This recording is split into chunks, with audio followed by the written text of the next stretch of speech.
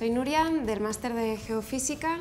Durante los primeros meses de mi estancia aquí he podido poner en práctica todas las cosas que vemos en clase, ya que mi formación no se basa solamente en estar en un aula y escuchar al profesor, sino que también salimos al campo y hacemos prácticas de campo, poniendo en práctica todo lo que vemos en clase.